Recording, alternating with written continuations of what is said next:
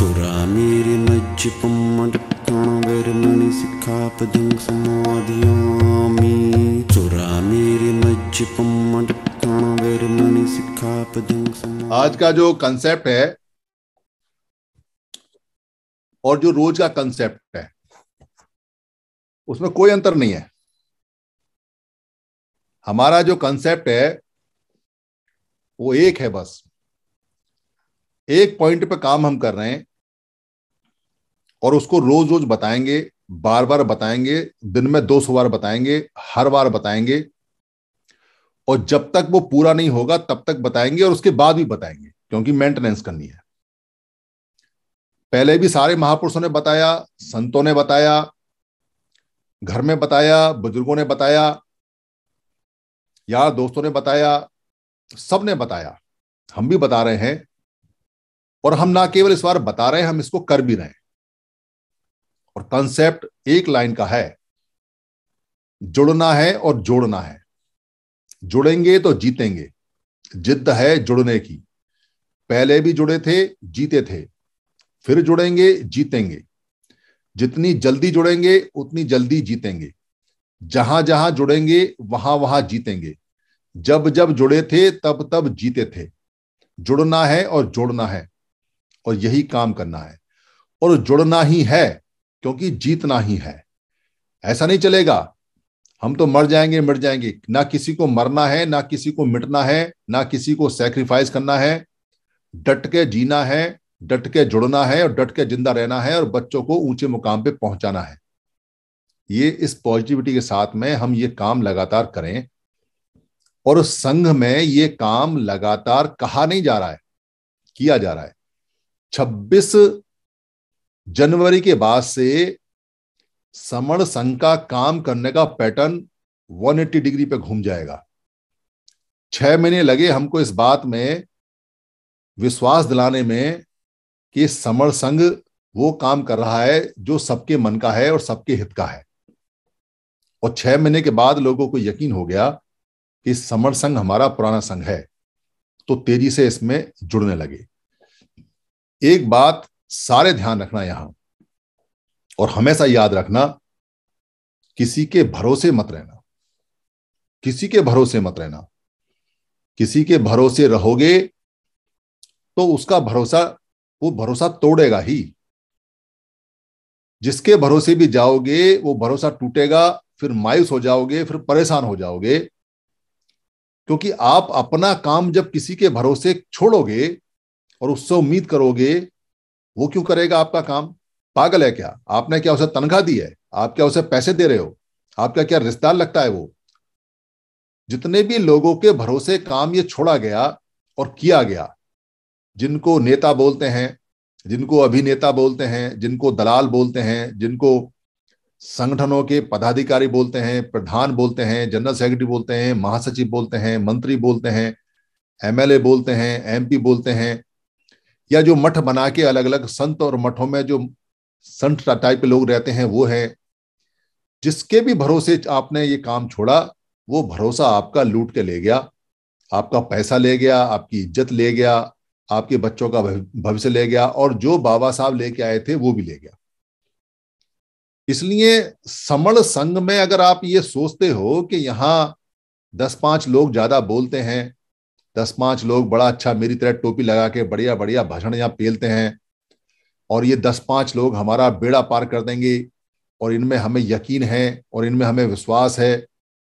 ऐसा अगर आपने सोच लिया और आपने निकम्मे होने की तरफ़ बढ़ना शुरू कर दिया कि अब तो जो है वो फलाना आदमी कर लेगा, अब तो ये संघ बन चुका है, इसमें बीस पचास आदमी है, अब के तो कोई नेता नहीं है तो संघ कर लेगा, अब के तो ये गुट कर लेगा और हमारा पूरा यकीन है और पूरा भरोसा है। तो फिर मात खा जाओगे। फिर कहीं के नहीं रहोगे।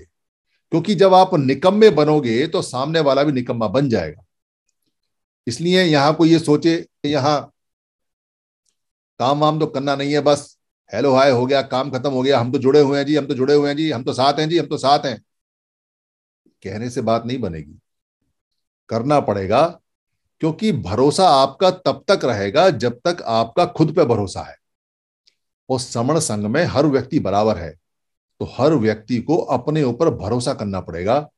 तब समण संघ पे भरोसा होगा। अगर आपने दस बीस लोगों के ऊपर भरोसा छोड़ दिया तो संगठन बन जाएगा। आपने अगर निर्णय दस बीस लोगों के ऊपर छोड़ दिए तो संगठन बन जाएगा। और वो दस बीस लोग ही लोग आपको गुमराह कर देंगे बाद में। लालच आ जाएगा उनके मन में, अगर उनकी लगाम को लगा के नहीं रखोगे तो।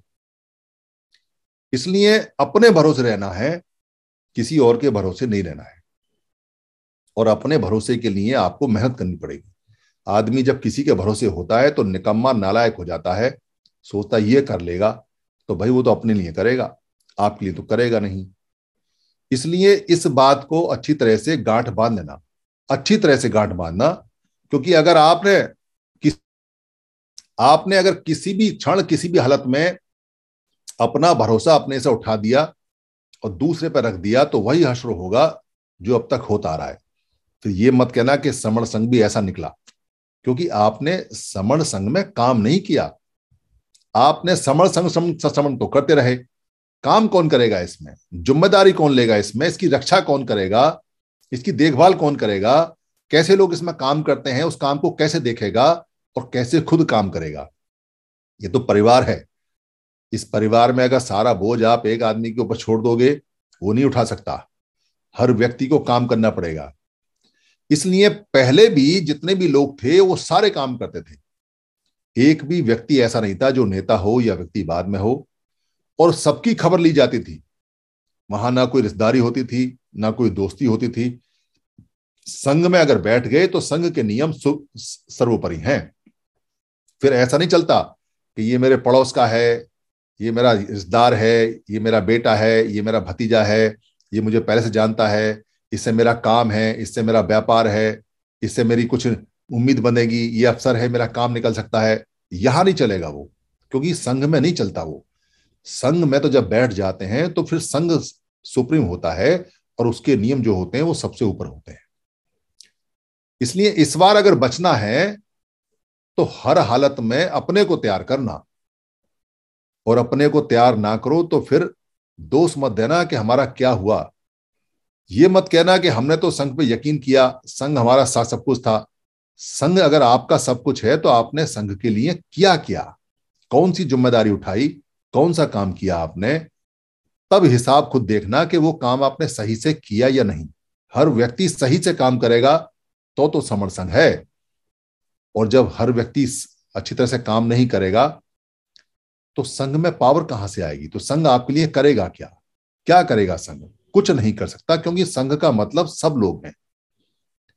तो काम का जब बंटवारा हो तो लाइन में पीछे मत खड़े होना। काम का जब बंटवारा हो तो लाइन में आगे आने का झगड़ा करना। मैं करूँगा मैं करूँगा मैं करूँगा। इतना काम करना कि काम थोड़ा पड़ जाए और मिल बांट के तो काम वैसे भी हल्का हो जाता है। अगर आप ये सोचते रहे काम करेगा प्रकाश सिंह, काम करेगा सुधीर, काम करेगा सत्य प्रकाश परिहार, काम करेगा योगेंद्र कुमार। तो भाई कितना काम कर लेंगे? उनकी अगर सौ परसेंट भी इच्छा होगी तो वो मर जाएँगे, मगर समर संघ अपने गंतव्य तक, अपने डेस्टिनेशन तक नहीं पहुंचेगा। समर संघ का ये नियम है कि जो व्यक्ति जो काम कर सकता है, उस काम को हाथ पकड़ के उठा ले। हाथ बढ़ा के उठा ले, किसी का इंतज़ार ना करे, यहाँ कोई काम देने वाला नहीं है। तो काम यहाँ बहुत सारे हैं। अगर नहीं दिखाई देते हैं तो देख लो भाई, चश्मा वश्मा अपना साफ़ कर लो, आँख वाँख में पानी डाल लो। लिंक भेजने का काम है। जो आप लिंक भेजते हो, वो डेली का काम है। इस पोर्टल की जो क्षमता है, हम जो इसका पैसा देते हैं, वो 500 की है। अगर एक हज़ार की इसकी क्षमता कराते हैं तो चार गुना महँगा पड़ता है। तो 500 का हमने ले रखा है मगर इसकी जो लिमिट अब तक पहुँची है मैक्सिमम 335 लोगों की पहुँची है। एक सौ पैंसठ लोगों का पैसा बेकार गया। इसका मतलब हम जो सात पौने सात हज़ार रुपया पे, पे करते हैं उसमें से लगभग हमारा ढाई हज़ार रुपया वेस्ट जा रहा है तो संघ का ढाई हज़ार वेस्ट जा रहा है। और ढाई हज़ार का जो नुकसान हो रहा है उसकी ज़िम्मेदारी आपकी है क्योंकि वो पैसा आपके समाज का आपके संघ का जा रहा है। बहुत मेहनत से पैसा लोग देते हैं जो समण संघ के एक्टिव मेंबर हैं। तो उनका पैसा बचना चाहिए और पूरा इस्तेमाल होना चाहिए तो इसकी ज़िम्मेदारी कौन लेगा? तो सुबह से लेकर शाम तक लोगों को 335 लोग पाँच दिन में 400 नहीं हुए। तो काम नहीं हुआ तो काम करेगा कौन? तो एक आदमी अगर एक एक को भी जोड़ता तो छह सौ हो जाते। तो हज़ार हो जाते, इसका मतलब काम नहीं हो रहा है। गप्पे हो रही है, बातें हो रही है, भाषण हो रहे हैं। कितना छोटा सा काम था। दूसरा छोटा सा काम है, आपके पास में टेलीफोन सबके पास है और ऑलमोस्ट सब फ्री हैं। तो बाबा साहब ने जब कहा है कि पाँच परसेंट अपने रिसोर्सेस का और टाइम का आपने समाज को देना है तो ये टेलीफोन जो आपके हाथ में है, इसका पाँच परसेंट आपको समाज को देना है। और जो आपके गले में आवाज़ है और जो ये शरीर है, ये बाबा साहब का दिया हुआ है, इसका भी पाँच परसेंट इस्तेमाल करना है। फिर पूरे दिन बात करते हो तो एक घंटे जुड़ने और जोड़ने की बात करनी है एक घंटे सोलह मिनट बैठती है, एक एक घंटे करो, उस फ़ोन का इस्तेमाल करो, जो फ़ोन का इस्तेमाल कर सकते हैं। नहीं कर सकते हैं तो पोस्ट बनाओ। नहीं कर सकते हैं तो वीडियो भेजो। अगर आप नहीं बोल सकते हो तो एक घंटे वीडियो भेजो, जितनी वीडियो है लगातार लगातार भेजो। ये जो वी द पीपल का चैनल है, इसको कहो कि भाई इसमें बहुत सारी वीडियो कंसेप्ट को देखो। ज़रूरी है कि जूम पे आके कंसेप्ट को सुनेगा सात बजे। नहीं किसी कोई आ पाता उसका डाटा खत्म होता है टाइम नहीं तो जब चाहे जब सुन लेगा उसको भेजो उसको रिक्वेस्ट करो। तो पोस्टर इसके बनाओ तो पोस्टर चिपकाओ जहाँ जहाँ इसके पोस्टर बना सकते हो। हाथ से बनाओ पोस्टर कौन सा आफत है? कोई प्रिंट में छपते हैं क्या? घर में बैठे हो कलम लो पेंसिल लो बना दो पोस्टर समर संघ ये नंबर ये नंबर ज्वाइन करें किसी बुद्ध विहार पर लगा दो किसी अंबेडकर भवन पर लगा दो कहीं ऐसी जगह लगा दो जहाँ लोग आते जाते हो अपने समाज को उनको बताओ। ये छोटे छोटे काम सो, सोचने के लिए समझाने के लिए भी अगर आपको ज़रूरत पड़ती है तो आप यकीन मानना कि रास्ता बहुत लंबा है और टेढ़ा है, बड़ी मुश्किल से दूर होगा। हर व्यक्ति जो उनका है, जिसने सारे हमारे अधिकार लिए हैं, उसको बताना नहीं पड़ता। ये काम करना है, वो काम अपने आप करता रहता है। कहीं भी बैठेगा, उसका काम शुरू हो जाता है, उसका मुँह चलना शुरू हो जाता है। वो उसके कान, नाक, दिमाग सब खुले रहते हैं सब पता रहता है, क्या चल रहा है, क्या नहीं चल रहा है, वो अगेंस्ट बात करेगा, वो ये नहीं सोचता कि मैं जहाँ बैठा हूँ, किसी संघ का हूँ या किसी संगठन का हूँ या किसी का, वो कहता है, मैं विचारधारा का बंदा हूँ तो विचारधारा अपनी फ्लोट करता रहता है, बहाता रहता है, बताता रहता है। तो कितने छोटे छोटे से काम हैं। एक आदमी से जाके बात करनी है, लोग रोज रोज ना रोज मिलते हैं। उनको आपने समर संघ का कंसेप्ट बताना है। और कुछ ना बता सको तो तीन बातें मोटी मोटी ज़रूर बता दो। ये संगठन नहीं है, संघ है। इसमें मेंबरशिप का कोई पैसा नहीं है। इसमें पब्लिक से ज़िंदगी में कोई पैसा नहीं लिया जाएगा। इसमें कोई नेता नहीं होता है, इसका कोई फाउंडर नहीं है, ये प्राचीन है, बहुत पहले का है, और इसमें सब जुड़ जुड़ रहे हैं और सब आ रहे हैं। और ये ऐसा संघ है जिसने पहले भी हमको बचाया था। इतना ही बता दो, उसकी जिज्ञासा जागेगी तो आपको दोबारा पूछेगा, तिवारा बताओ, चौवारा बताओ, पाँच बार बताओ, छह बार बताओ। पूछेगा, क्योंकि जब आप उसे सही तरह से प्लेसिंग करोगे, सही तरीके से बताओगे तो उसकी जिज्ञासा जगेगी। तो कितना छोटा सा काम है। ये वो काम है जो आपने हर समय करते रहना है, जो नॉर्मल सदस्य हैं। और जो सक्रिय सदस्य हैं, जो इसमें एक्टिव मेंबर हैं, जिनको स्पोक्स बोलते हैं, वो अपनी ज़िम्मेदारी लें। अब संघ के घटक बन रहे हैं। महिलाओं का संघ घटक बन गया है। तो महिलाएँ इकट्ठा हों, अपनी लिस्टें बनाएँ और अपनी लिस्ट बना बनाकर देखें कितनी महिला टोटल आई हैं, कितनी नहीं। फ़ोन करें, पूछें, तुम्हारे घर में कितनी महिला हैं? कितनी जुड़ी हुई हैं, कितनी नहीं है? ये कौन करेगा इस काम को? ये जो डॉक्टरों का समर संघ है तो आपको डॉक्टर से क्या मदद चाहिए, क्या नहीं चाहिए तो उनको फ़ोन करो भाई कि हमको ओपीडी चाहिए, हमको ये चाहिए। डॉक्टर आपको फ़ोन करेंगे कि कोई आपके यहाँ वार्ड बॉय या कोई नर्स या कोई और ऐसा स्टाफ है तो उसको हमें बताएँ। तो ये म्यूचुअल अंडरस्टैंडिंग कौन पैदा करेगा? आपस में फ़ोन करने का कौन जज्बा पैदा करेगा? किसका इंतज़ार कर रहे हो? कौन बताने आएगा? ये कॉमन सेंस की बातें हैं, ये छोटी छोटी बातें हैं, ये हाथ बढ़ा के काम को उठाने वाली बातें हैं। कौन डाटा बनाएगा? पूरे देश में अब इस समय मारा मारी मची हुई है। रोज इतने लोग जुड़ना चाहते हैं, लोग इतने लोग जुड़ना चाहते हैं, उन तक डाटा नहीं पहुँचता, उन तक लिंक नहीं पहुँचता तो कौन देगा? किसकी ज़िम्मेदारी है? यहाँ यहाँ सारे के सारे संगी हैं, सारे के सारे श्रवण संगी हैं तो नहीं आता है तो किसी को फ़ोन करके पूछ लो, नहीं आता है तो ज़िम्मेदारी लो। हर शहर के अंदर संघ बन चुका है और बन रहा है। जैसे लखनऊ समर संघ। लखनऊ समर संघ में कितने लोग जुड़े हैं? उन लोगों को खुद तय करना चाहिए। उनको खुद अपना समर संघ का काम करना चाहिए। वो किसका इंतज़ार कर रहे हैं? कोई यहाँ सेंट्रल बॉडी नहीं है कि वो जाके ये कहेगी भाई तुमने काम करो। इशारा कर दिया, काम अपना शुरू करो तो करो अपना काम। सब इंडिपेंडेंट करते हैं और सब जुड़े हुए हैं। तो बुलंदशहर समर संघ अपना काम करे तो शाहजहापुर समर संघ अपना काम करे। आज पुणे से फ़ोन आया, पुणे के लोगों ने वहाँ मीटिंग की और उन्होंने फ़ोन करके कहा, हम पुणे में समर संघ बनाना चाहते हैं। पुणे समर संघ। तो मैंने कहा, पाँच मिनट बाद फ़ोन करना। मैंने कट के सर को फ़ोन पर लाइन पर लिया, दो लोग वहाँ थे। उन्होंने कहा, जी, आप मीटिंग बताओ कब है? हम यहाँ मीटिंग कर चुके हैं, समर संघ की मीटिंग होगी। उनको बता दिया, भाई, आप कोविड के बाद में कभी मीटिंग कर लो। तो पुणे समर संघ तैयार है। तो जो अमरावती समर संघ है, वो तैयार है। तो नागपुर समर संघ की मीटिंग होने वाली है।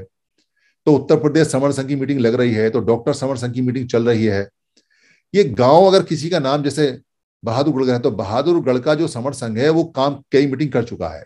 और गाँव के अंदर भी पहुँच गया है। जैसे बरावली गाँव है तो बरावली गाँव का समर संघ बन चुका है। अमरोहा समर संघ बन चुका है। आप अपने सिटी में, अपने शहर में उससे पहले जो नाम है, उसके बाद समर लगा के काम स्टार्ट करें। यहाँ आके बता दें पोर्टल पे, भाई, फलाने मोहल्ले का समर संघ बन गया है। कॉलोनी है ना आपके यहाँ? तो कोई कॉलोनी है, किसी कॉलोनी का नाम अंबेडकर नगर है तो कहो जी, अंबेडकर नगर का समर संघ बन चुका है। तो ये अंबेडकर नगर समर संघ हो गया। भले ही उसमें तीन आदमी है, भले ही उसमें चार आदमी है तो इसकी लिस्ट बनाओ। तो यहाँ कुछ लोग काम कर रहे हैं, वो दर्ज करते हैं, उनको दर्ज करा दो जी कि ये समर संघ यहाँ काम कर रहा है, चार लोग हैं, ये नंबर है। शुरुआत में आदमी एक ही होता है, एक से दो होते हैं, दो से चार होते हैं। ऐसा कोई चमत्कार नहीं होता कि एक साथ ही सौ आदमी किसी समर संघ में आ जाए। ऐसा नहीं होता कभी भी। बुद्ध जैसे व्यक्ति भी अकेले चले थे।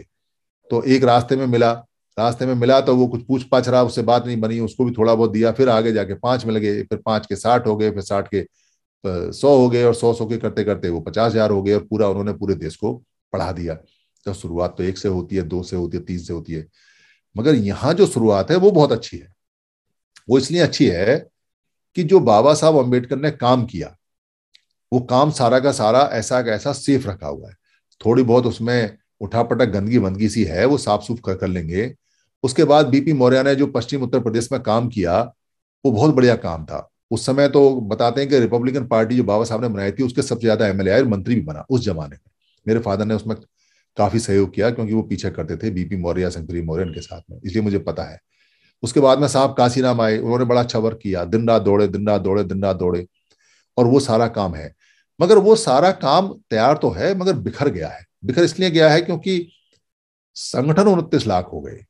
और चार लाख एक्टिवेट संगठन हो गए और सारे संगठन एक दूसरे के दुश्मन भी हो गए। संगठन हो जाते साथ, इतने सारे कोई दिक्कत नहीं थी।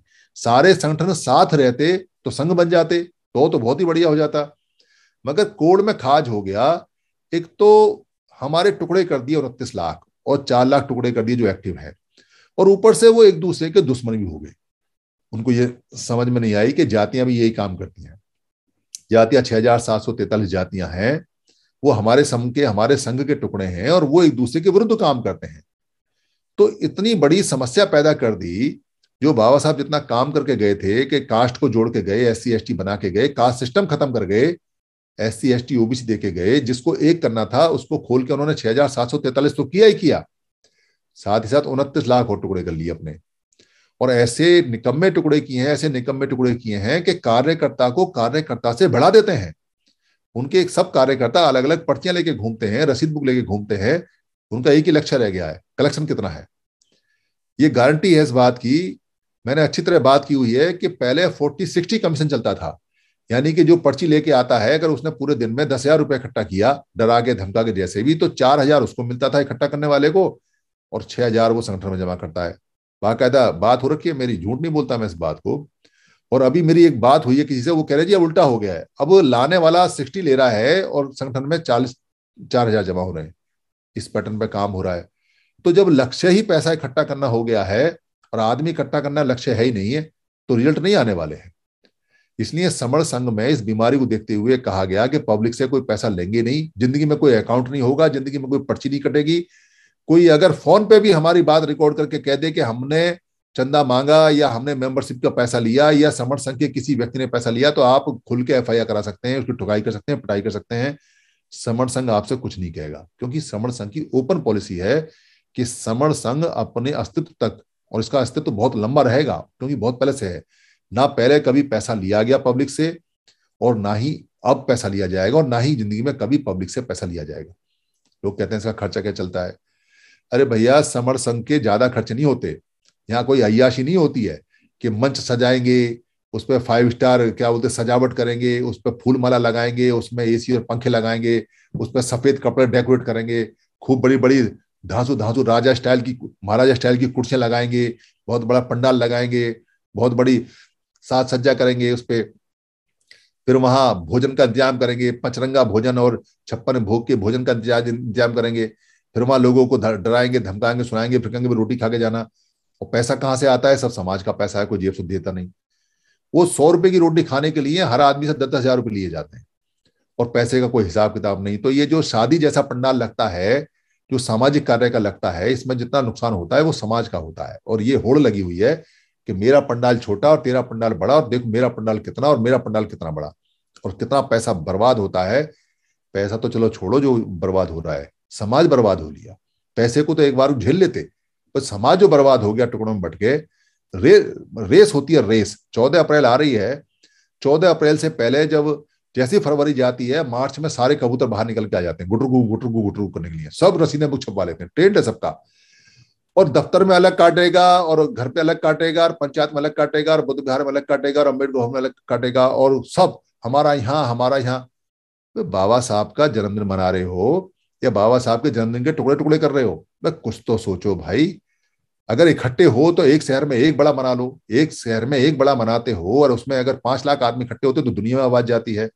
और तुम एक शनिवार को तेरह, मंगल को तेरह, फलाने को तेरह, ढिलाने को तेरह क्या सिस्टम है? कौन सा बाबा साहब कह के गए थे? बाबा साहब अपने जन्मदिन के बिल्कुल मना करके गए थे, तुम ज़बरदस्ती मनाते हो। बाबा साहब की इच्छा के विरुद्ध मनाते हो। तो एक तो बाबा साहब की इच्छा के विरुद्ध मना रहे हो, ऊपर से उनके संगठन के टुकड़े कर रहे हो ऊपर से उनके नाम पर टुकड़े कर रहे हो। और मरण दिन पर तो उससे भी ज़्यादा हालत खराब है। जो निब्बान दिवस है बाबा साहब का उस पर कभी एक साथ आते नहीं। उस पर भी टुकड़े टुकड़े करते हैं। तो वो जो स्थिति है और वो जो चल रही है वहाँ पर सारी की सारी, वो स्थिति हमको उबरने नहीं देगी और उसकी ज़िम्मेदारी हमारी है। क्योंकि उनके पोषक हम हैं, उनको खिलाने वाले हम हैं, उनके पोषण जो देते हैं वो हम हैं, उनको पैसा हम देते हैं, हम उनके टुकड़े किए हैं। दरअसल उन्होंने टुकड़े नहीं, उनका तो धंधा है। जैसे वो कहते हैं कि मंदिर में पुजारी का धंधा होता है, वैसे ही संगठन में पदाधिकारी का धंधा होता है। तो लोग बड़े नाराज़ होते हैं, हम तो समाज सेवा कर रहे हैं, हमको धंधा बता दिया, ये श्रवण संघ वाले तो दिमाग खराब इनका, क्या संगठनों ने कुछ नहीं किया? संगठनों को ऐसे कहते हैं, संगठनों को वैसे कहते हैं। तो संगठनों ने किया है, संगठनों ने तो बहुत कुछ किया है। संगठनों ने क्या किया है कि समाज को हवा नहीं लेने लगी और समाज के सारे के सारे अधिकार चले गए। कभी देखे आपने कि सारे संगठन इकट्ठे हो गए हों और ये कहते हो कि ये अधिकार क्यों जा रहा है? और दो अप्रैल को जब वो हमारा एक कवच भी चला गया तभी कोई संगठन नहीं आया। बल्कि एक संगठन ने तो लिखित में ऐलान किया कि इस दो अप्रैल के आंदोलन से उसका कोई लेना देना नहीं है उसका कोई आदमी नहीं जाएगा। और अपने आप को बड़ा संगठन कहता है। बड़ा क्या बोलते हैं मुक्तिदाता मुक्ति क्रांति पता नहीं कुछ ऐसी नाम रख रहा क्यों सबसे ज़्यादा पैसा लेता है वो, वो संगठन। और लिखित में उसका। अभिराम मलिक बता रहे थे जो उड़ीसा से हमारे साथी हैं कि लिखित में बाकायदा उसका आया। तो ये हालत हमारी हो रही है। क्योंकि होल सोल में देखा जाए तो संगठनों से जागृति सिर्फ़ इतनी हुई है कि बाबा साहब का सब टुकड़ों में जन्मदिन मनाते हैं, बाबा साहब की सब अलग अलग टुकड़ों में बात करते हैं, बाबा साहब को टुकड़ों में बांटते हैं और नुकसान सब ज़्यादा ये हुआ कि हमारे सारे अधिकार चले गए। ये अचीवमेंट हुई है उनकी और उनको कह दो तो उनको बुरा लगता है। बुरा उनको ऐसा लगता है कि वो समझते हैं कि वो इतने बड़े क्रांतिकारी हैं उन्होंने बड़ी क्रांति की है। अरे भैया, क्रांति तब होती है जब बदलाव पॉजिटिव हो, जब बदलाव अच्छा हो जब बदलाव से फ़ायदा हो, हमने जो पैसा दिया, जो सपोर्ट किया और हमने जो आपको मान्यता दी, वो इसलिए दी कि बाबा साहब का कारवा वहीं रहना चाहिए, अगर आगे नहीं बढ़ा सकते हो, ऐसा बाबा साहब ने कहा है। इस बात के लिए, और तुमने भी ये कहा कि बाबा साहब ने का जो कारवा है, हम पीछे नहीं जाने देंगे। अब गणित गुणा भाग कर लो, बाबा साहब का कारवा कहाँ है, कहाँ नहीं है? जितनी नौकरियाँ बाबा साहब लेके आए थे, अब बीस परसेंट नौकरी नहीं है। सारे लोग वीआरएस दे दिया वॉलेंटरी रिटायरमेंट दे दिया या कंपलसरी ज़बरदस्ती भगा दिया नौकरी से? ज़बरदस्ती भगाए। कहने को इज़्ज़त से है कि कंपलसरी रिटायरमेंट हुआ है। निकाले गए हैं। निकाले गए हैं। इस बात को बताते नहीं है कि गवर्नमेंट ने धक्का मार कर निकाला उनको। सारे डिपार्टमेंट बेच दिए। इन्हीं डिपार्टमेंटों में बाबा साहब के बड़े बड़े फ़ोटो लेके चौदह अप्रैल को खूब जलूस और खूब मोटी मोटी पार्टियाँ होती हैं बाबा साहब की।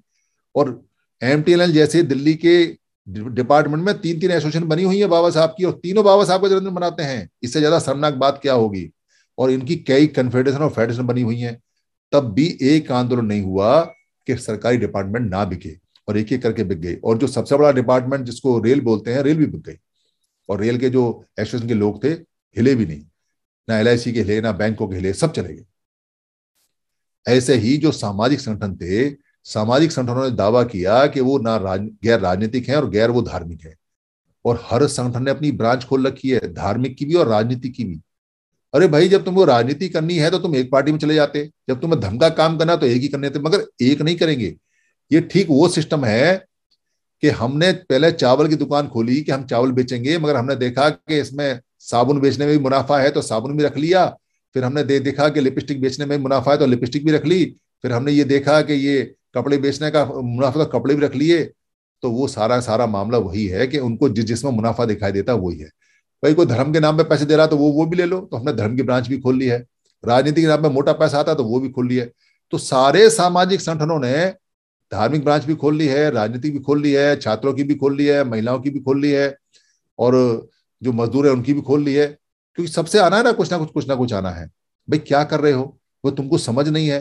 अगर तुम्हें धम्म में जाना है तो इकट्ठे हो जाओ, धम्म का एक ब्रांच खोलो। अगर तुमको राजनीति का खोलना है तो एक राजनीति ब्रांच में जाओ। तुमको समझ में नहीं आता भाई कि सारे अलग अलग ब्रांच खोलोगे तो वैसे ही तुम सारे सारे कितने परसेंट तुम्हारा होगा क्या क्या नहीं होगा?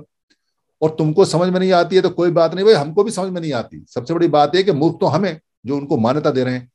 तो भैया, अपनी मूर्खता की टोपी हटाओ, अपने चश्मे को साफ़ करो और सभी संगठनों से कहो कि भाई इकट्ठे होके आ जाओ। देखो, वो जो संगठनों में जो लोग हैं उनसे कोई दुश्मनी नहीं है, वो भी समर संघ के लोग हैं। गलती पर है तो उनकी गलती बतानी चाहिए, मगर वो गलती नहीं मानेंगे, क्योंकि अहंकार और अहम बहुत बुरी चीज़ होती है। आदमी मर जाता है, मगर अहंकार और अहम में मानता नहीं है, वो कभी नहीं मानेंगे, क्योंकि उनको प्रयास करके देखा जा चुका है, संगठनों को बुलाया और संगठनों को बुला के बात हुई और सबसे कहा कि भाई इकट्ठे हो जाओ, हम मारे जा रहे हैं। हमने कहा नहीं समझ में आ रही बात तो हमने दोबारा कहा कि भाई सब इकट्ठे हो जाओ, तुम मारे जा रहे हो। तो एक बड़ा शातिर था तो उसने कहा, हम कैसे मारे जा रहे हैं भाई? हमको कैसे कह दिया? हम तो काम कर रहे हैं। अरे भैया, तेरे संगठन हमसे चलते हैं, हमारे जैसे आम आदमी से चलते हैं। जब हम मर जाएँगे, मूर्ख तो तू कहाँ से बचेगा? तो मुँह उसका बंद हो गया। भाई, कोई पेड़ में अगर पानी नहीं जाएगा तो पेड़ कितना ही मोटा ताजी सही। जब पानी नहीं मिलेगा, खाद नहीं मिलेगा, ज़मीन नहीं मिलेगी तो खत्म हो जाएगा, गिर जाएगा, सूख जाएगा। पत्ते उड़ जाएँगे उसके हवा में सूख के। किस बात का नेता रहेगा? तो चुप हो गया, अपना सा मुँह लेके। बात तो सही है, मगर अहम और अहंकार इतना था कि उस मीटिंग की रिकॉर्डिंग हमारे पास में, उसमें किसी व्यक्ति ने ये नहीं कहा, हम इकट्ठे हो गए। यहाँ पोर्टल पे कई नेता आए, उनसे भी कहा, भाई, सारे इकट्ठे हो जाओ। तो कह मीटिंग करेंगे, ये करेंगे, वो करेंगे। हमने पोर्टल पे कहा, भाई मीटिंग किस लिए करोगे? क्या मीटिंग करोगे? कह रहे, जी, नहीं, ये इकट्ठा होने के लिए हम जरा काम वाम देखेंगे। अरे तोड़ते हुए तुम्हें शर्म नहीं आती जब तुम एक के दो और दो के चार और चार के आठ और आठ के सोलह तुम संगठन बनाते हो, तब तो तुम एक मिनट बना देते हो। तब तो तुम कोई मीटिंग नहीं करते, ना तुम समाज से पूछते कि इसको टूटे ना, तुम समाज की अवहेलना करके, समाज को तुम गड्ढे में रख के, समाज को तुम थूक के समाज के ऊपर और तुम टुकड़े कर लेते हो।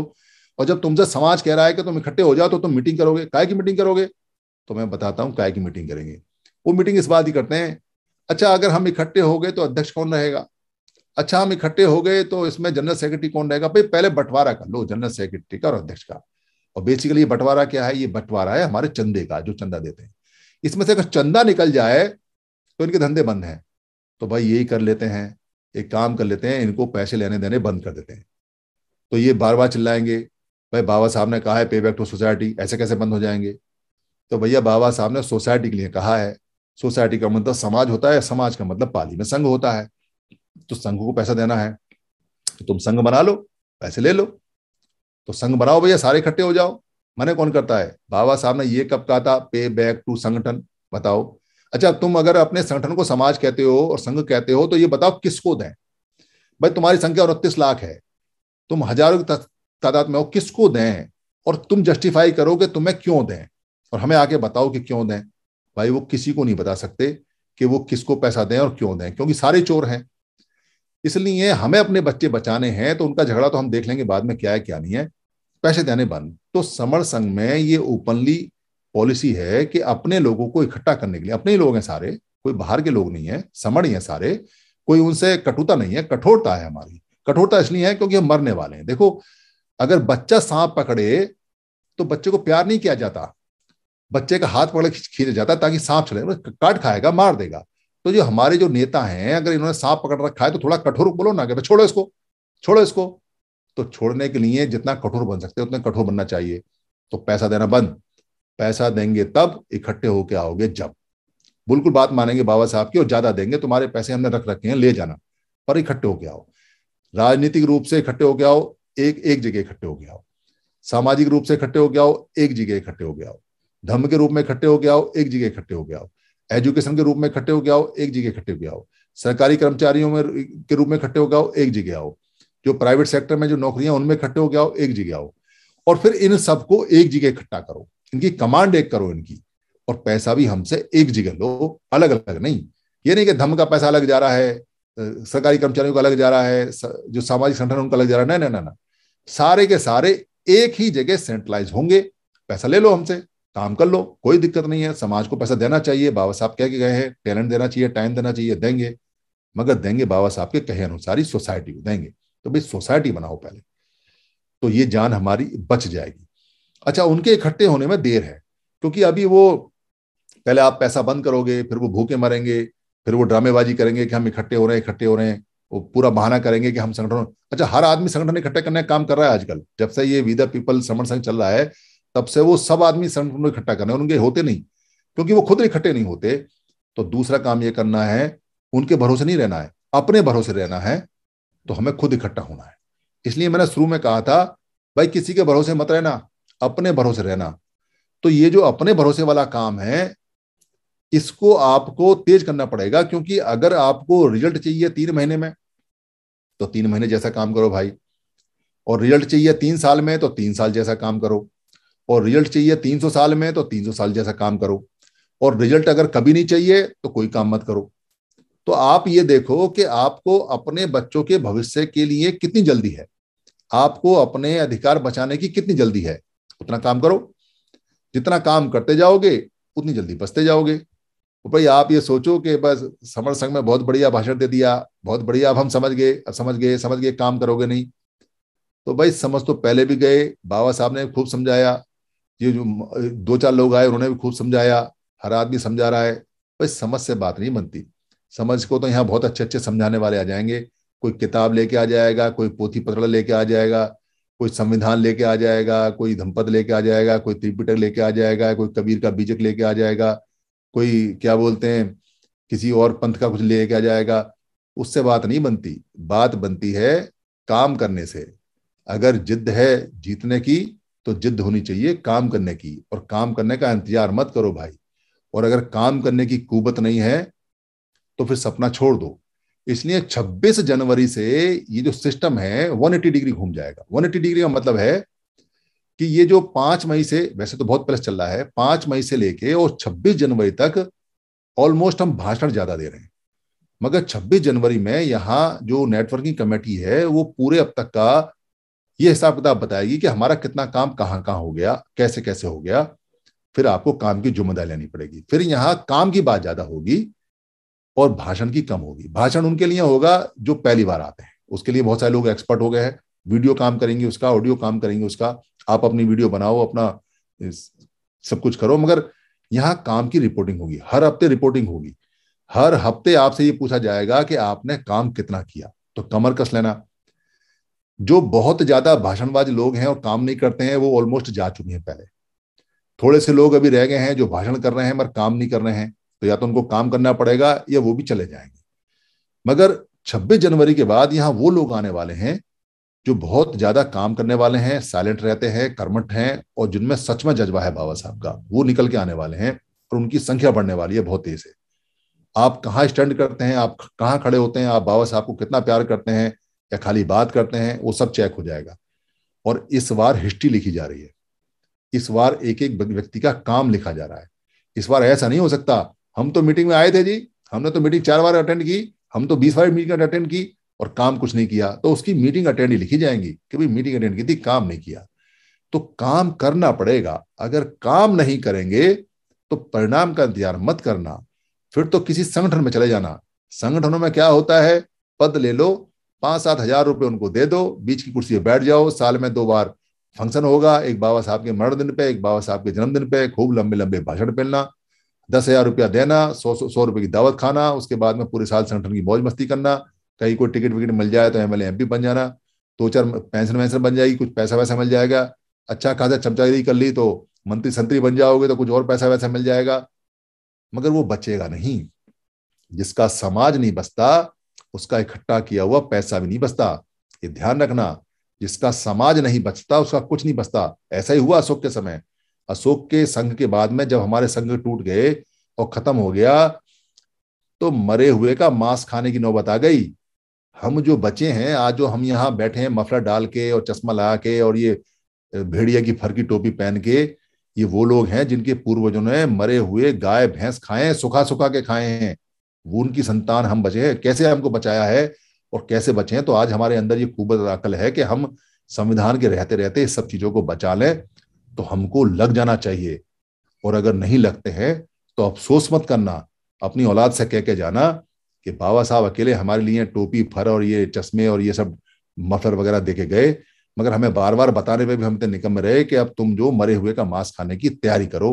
और ये होगा, अगर आप काम करने की जिद पर नहीं आए तो इसलिए जिद है काम करने की, तब जिद है जीतने की। धन्यवाद।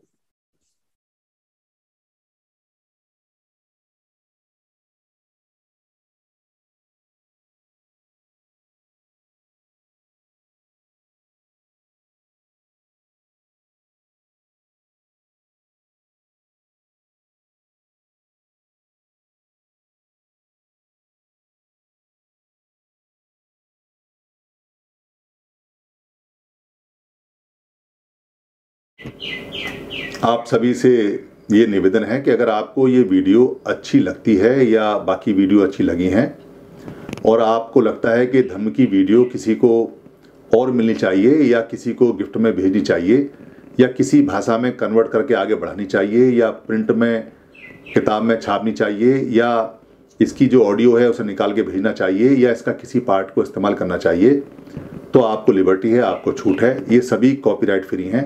आप अपने फेसबुक पे, अपने पेज पे, अपने ट्विटर पे या अपने हैंडल पे या लिंक को कहीं भी शेयर कर सकते हैं, कहीं भी चला सकते हैं, आप यूट्यूब पे भी चला सकते हैं, अपने नाम से चला सकते हैं। इसके लिए इजाज़त लेने की या परमिशन ले, लेने की बिल्कुल भी ज़रूरत नहीं है। आप इसको अपना मान के चलाएँ, क्योंकि धम्म सबका है। हम जो बताते हैं, वो भगवान बुद्ध का है या महापुरुषों का है। उन्हीं की बात को सरल भाषा में बताते हैं। हमारा सिर्फ़ इतना राइट है इस पर कि हम इसको लोड कर देते हैं। बाकी सारी ये पूंजी आपकी है। धन्यवाद। शरणं गच्छामि